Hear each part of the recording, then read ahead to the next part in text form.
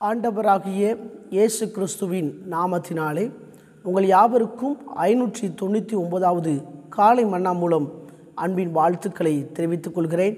தேவனாகி கர்த்தர் இந்த இரவு முழுவதும் பாதுகாத்து ஒரு புதிய நாள் அதாவது ஒன்பதாம் தேதி பன்னெண்டாவது மாதம் வியாழக்கிழமை ஆண்கள் பகுதிக்கு நேராய் அழைத்து கொண்டு வந்திருக்கிறார்.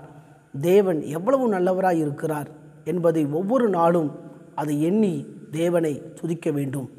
நாம் நிற்பதும் நிர்மூலமாகாதிருப்பதும் தேவனுடைய கிருபை. நாம் இந்த மட்டும் உயிர் வாழ்கிறோம் அது தேவனுடைய விலையேற பெற்ற கிருபையாக இருக்கிறது இந்த நாளிலும் இந்த ஐநூற்றி தொண்ணூத்தொம்போது காலை மன்னா வெளிவருவதற்கு கத்தர் கிருபை பாராட்டியிருக்கிறார். இது நம்மால் உண்டான ஈவு அல்ல. தேவன் நம்ம மேலே வச்ச ஒரு இரக்கத்தினாலே வெளிவருவதற்கு கத்தர் உதவி செய்திருக்கிறார். எனவே தொடர்ந்து நாம் இந்த காலை மன்னா ஊழியங்களுக்காக செபியுங்கள் ஆண்டவர் இன்னும் அநேக செய்திகளை நமக்கு தருவாராக. இந்த நாளிலும் நாம் எதற்காக ஜெபிக்க வேண்டும் என்று சொன்னால் எல்லா விவசாயிகளுக்காக விவசாய நிலங்களுக்காக அதில் விதைக்கப்பட்ட விதைகளுக்காக ஜெபிக்க வேண்டும். ஒவ்வொன்றும் நூறு மடங்கு பலனை கொடுப்பதற்காக ஜெபிக்க வேண்டும். ஏனென்று சொன்னால் சில பூச்சிகள் பட்டிருந்தனால சில விதைகள் முளைக்காமல் போகிறது பறவைகள் வந்து கொத்துவதனால அது பலன் இல்லாமல் போகிறது. எனவே அப்படிப்பட்டது இல்லாதபடி எல்லா விவசாய நிலங்கள் ஆசிர்வதிக்கப்பட்டு எல்லாம் நூறு சதவீதம் பலனை கொடுப்பதற்காக ஜெபிப்போம். விவசாயிகளுடைய வாழ்க்கையில் காணப்படுகின்ற எல்லா கடன் பிரச்சனை முடிவுக்கு வருவதற்காக ஜெபிப்போம். தேவன் பெரிய காரியங்களை செய்வாராக. இந்த காலை ஆதாரத்துக்காக எடுத்துக்கொண்ட வேத வசனம் நாகும் எழுதின தீக்க தரிசனத்தின் புஸ்தகம் ஒன்றாம் அதிகாரம் ஏழாவது வசனம். கர்ச்சர் நல்லவர் இக்கட்டு நாளிலே அரணான கோட்டை தம்மை நம்புகிறவர்களை அறிந்திருக்கிறார். என்னுடைய செய்தியின் தலைப்பு தம்மை நம்புகிறவர்களை அறிந்திருக்கிறார். உங்கள் வாழ்க்கையில் மனுஷனை நம்பி தோற்று போய்விட்டீர்களா? மனுஷனை நம்பி ஏமாந்து விட்டீர்களா ஒன்று புரிந்து கொள்ளணும்.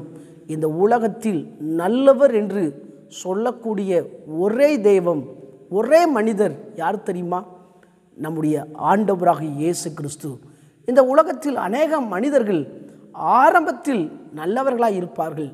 போக போக நல்லவர்களாய் இல்லாமல் நம்பிக்கை அற்றவர்களாய் மாறிவிடுவார்கள்.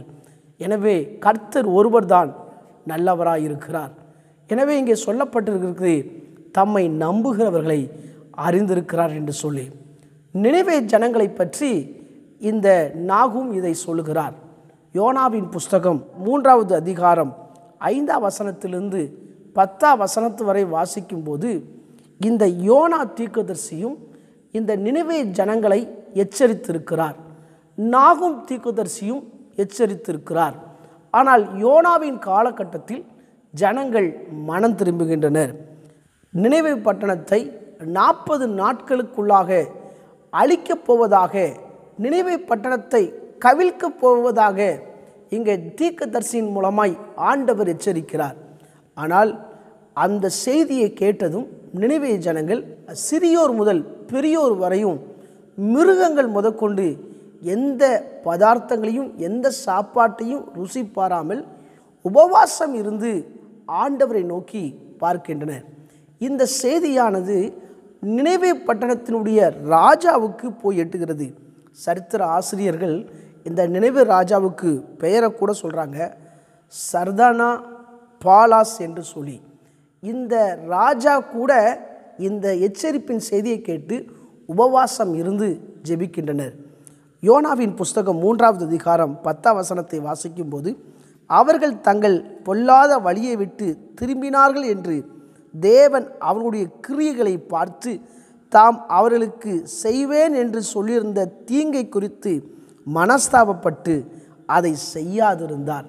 இந்த நினைவே ஜனங்களுடைய பாவங்கள் தேவனுடைய சமூ- சமூகத்தில் எட்டினபடியால் தேவன் அழிப்பதாக தீர்க்க தரிசனின் மூலமாய் எச்சரிக்கிறார். இந்த ஜனங்கள் மனம் திரும்பின போது தேவனும் தான் செய்ய போகிற தீங்கை செய்ய மாட்டேன் என்று அவரும் மனமாறுகிறார். ஒன்று புரிந்து கொள்ளுங்க கர்த்தர் நல்லவர்தான். அதே வேளையில் அவருடைய குண அதிசயத்தில் ஒன்று என்ன தெரியுமா? அவருக்கு பிடிக்காத காரியத்தை செய்யும்போது அவர் தண்டிக்கிறவர் கூட இருக்கிறார். எனக்கு பிரியமான கர்த்தருடைய பிள்ளைகளே உங்கள் வாழ்க்கையில் கர்த்தரை நம்புங்கள். நம்பும்போது அவர் உங்களை அறிந்திருக்கிறார். அவர் அறிந்திருந்தால் என்ன நடக்கும் தெரியுமா? அவர் உங்களுடைய வாழ்க்கையில் பலத்த கோட்டையாக இருக்கிறார். அந்த கோட்டைக்குள்ளாக எந்த மனிதனும் உள்ளே வர முடியாது. அந்த கோட்டையானது அது பாதுகாக்கக்கூடிய கோட்டையாக மாறுகிறது. அவருடைய நாமத்தை சொல்லி கூப்பிடுகிற ஒவ்வொரு பேருக்குமே அவர் பலத்த துருகமாய் அரணான கோட்டையாக இருக்கிறார். எனவே உங்களுடைய வாழ்க்கையில் ஏதோ ஒரு காரியத்துக்கு ஆண்டவரை நம்பி இருக்கிறீங்களா? தொடர்ச்சியாக நம்புங்கள்.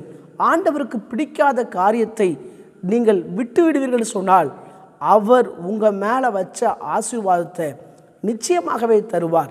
அவர் உங்களை அறிந்திருப்பார் என்று சொன்னால் ஒவ்வொரு நொடியும் ஒவ்வொரு மணி நேரமும் ஒவ்வொரு நாளும் உங்களை ஆசிர்வதித்து அவர் உயர்த்துவார்.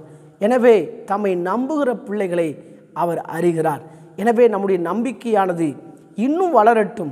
நூறு சதவீதம் ஆண்டவரை நம்புவோம். நம்முடைய தேவைக்கு ஆண்டவரை எதிர்பார்ப்போம். சங்கீதக்காரன் தாவிது சொன்னது போல எனக்கு ஒத்தாசை வரும்.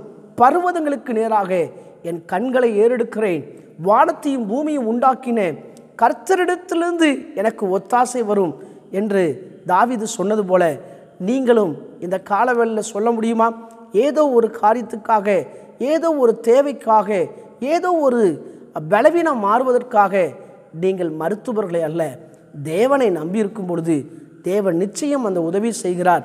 உங்களுக்கு விரோதமாய் காணப்படுகின்ற எல்லா தீங்கிலிருந்தும் கர்த்தர் மனம் மாறி உங்களை ஆசிர்வதிக்க அவர் சித்தமுள்ளவராய் இருக்கிறார். எனவே நாம் கண்களை மூடி ஜெபிப்போமா? எங்களை நேசிக்கிற நல தகப்பனே ஆசிர்வதிக்கப்பட்ட அந்த அற்புதமான அந்த வேலைக்காக ஜெபிக்கிறேன். இப்பொழுதும் எந்த காரியத்துக்காய் உம்மை நம்புகிறார்களோ அந்த காரியத்தில் ஒரு அற்புதம் நடக்கட்டும்.